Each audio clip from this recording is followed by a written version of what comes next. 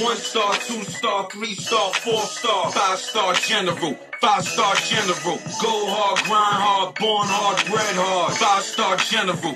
Five star general.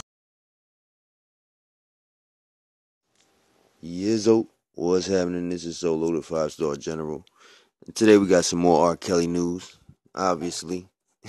and this is courtesy of BBC News, by the way. R. Kelly sex abuse tape given to U.S. authorities. Now, a U.S. man has claimed to have found a videotape allegedly showing R. Kelly sexually abusing underage African American girls. Gary Dennis told reporters that he handed the tape to authorities after discovering it at his house. R. Kelly was charged last month with 10 counts of aggravated criminal sexual abuse involving four alleged victims, three of whom were minors. The R&B artist has denied appearing in the video and all other charges. If convicted, he faces 3 to 7 years in prison on each count. Mr. Dennis, a nursing home worker, said he came across the footage while sorting through a box of old videotapes. He played one tape with a recording of a football match after finding it had been labeled R. Kelly. He expected it to have been recorded over with an old concert. Instead, it contained sexual abuse, he alleges. While not going into detail, Mr. Dennis said he saw R. Kelly telling him what to do and what to say, and it appeared that he was in control of the camera. After the discovery, he said he had a moral duty to notify law enforcement and contacted Gloria Allred, a lawyer representing women who claimed to have been sexually abused by R. Kelly. The tape was then turned over to the U.S. Attorney for the Eastern District of New York. Miss Allred and Mr. Dennis had no personal connection to the R&B singer and had no idea how or when he came to possess the videotape, adding that friends had given him tapes of sporting events in the past. She said the tape appears to show a separate incident from those previously attributed to R. Kelly, but conceded that she could not be a 100% certain that the man on the tape was him. The doubt here is self evident, said Steve Greenberg, R. Kelly's lawyer.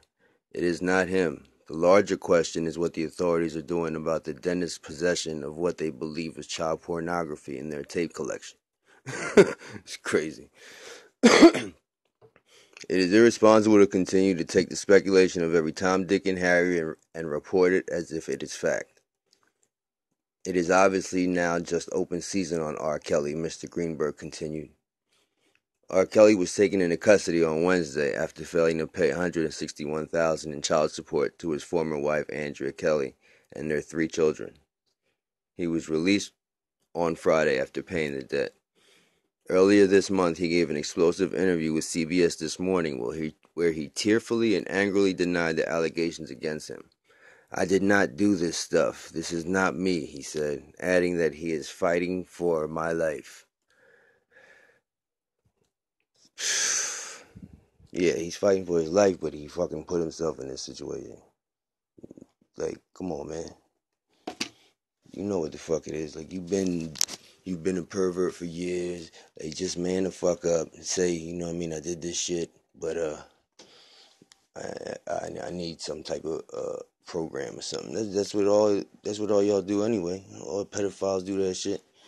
But once y'all get upstate and into the state prisons, they got something for you. So, or you be in PC anyway. You, you definitely lock in. They're gonna keep you separated from everybody. I know motherfuckers got something for you. but um, yeah, man, I don't know. Let me know what you think. Do you think that uh, this tape is him? Do you think people are just out to get him? Do you think pe- now people trying to cash in? Everybody, I mean, I think it's a little bit of both. You get dirtball motherfuckers that want to cash in, and exploit other people just to get a buck up, and but I don't know. I mean, you can't say that about everybody either. Some people are just good-hearted people that he maybe he really did feel he had a moral obligation. So, um, yeah, let me know what you think. And I also want, I'm also interested to see how many people are still gonna su- listen to people like R. Kelly and Michael Jackson, who supposedly did the things that they did. I mean, maybe you don't believe they did what they did, but if you do believe that they did those things, would you still listen to them? Or even people like Tekashi?